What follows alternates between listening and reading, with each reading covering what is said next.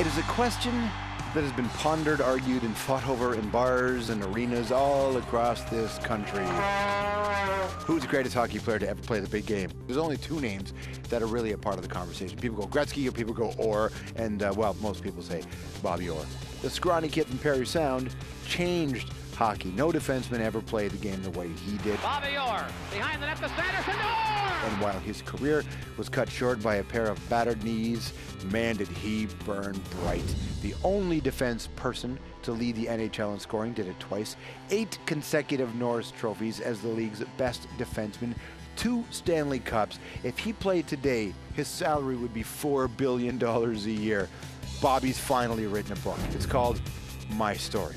And there's so much we want to explore with him. Those glorious years, the pain that came with the discovery that his friend and agent Alan Eagleson had left him in financial ruin, as well as Bobby's ideas on where the game can go today. Ladies and gentlemen, number four, Bobby Orr.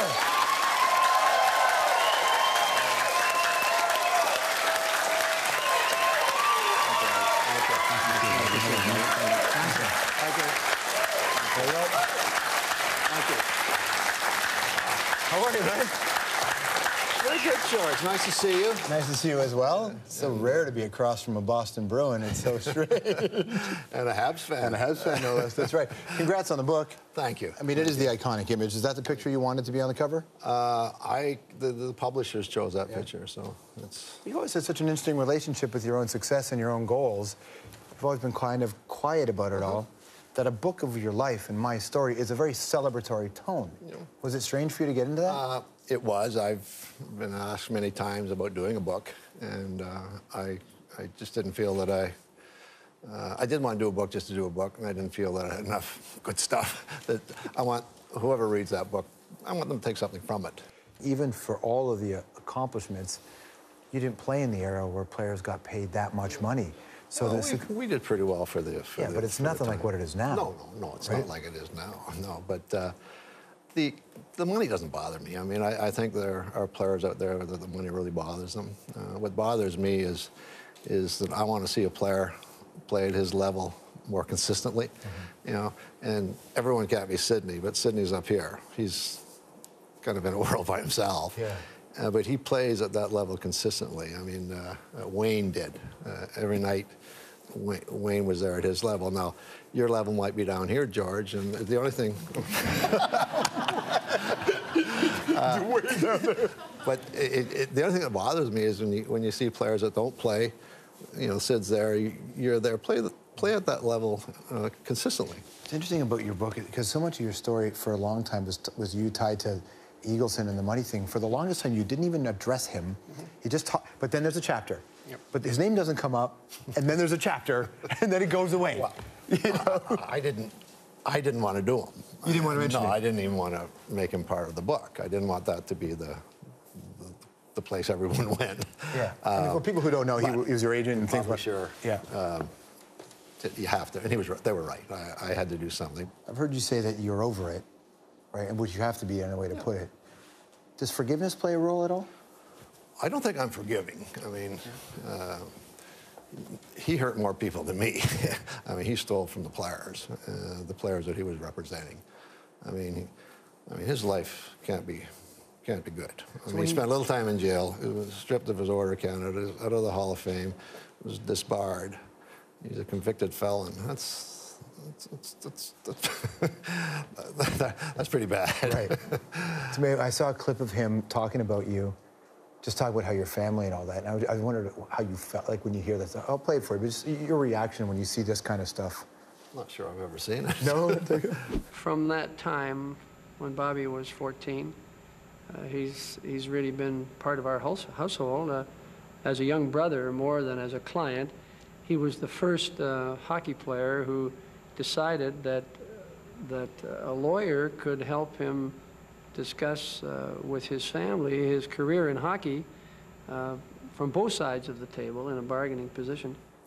I, I'd not, I'd not seen that. Well, that's how I looked at him as a brother, and, and he did not uh, do me any good.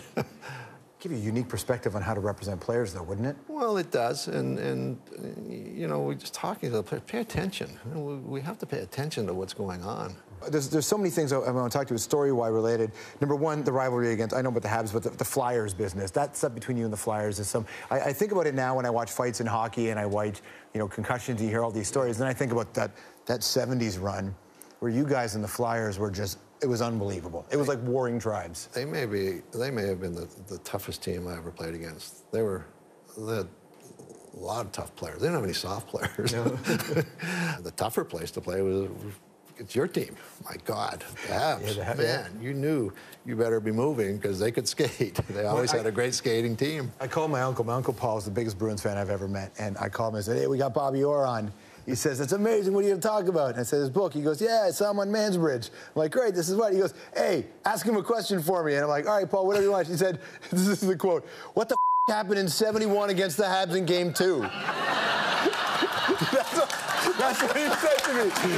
He's like, he exactly can said. We call, can we call him? You can go. I wish I could call my uncle. He's like, "What?" He's probably right now just he's on the golf course. He's like, "What happened in game two? And seriously, you remember a game from that long ago? He goes, "They were up five-one. What happened?"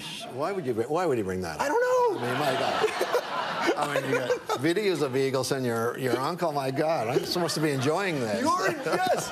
But I was amazed. Well, I'm glad you brought it up, Paul. You're a Bruins fan. Stick around. More with Bobby Orr right after this.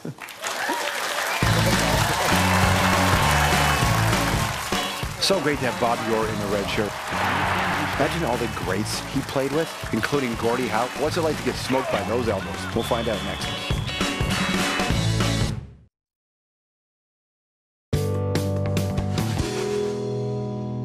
He's our next challenger, number four of the Boston Bruins, Bobby Orr. Are you a player now?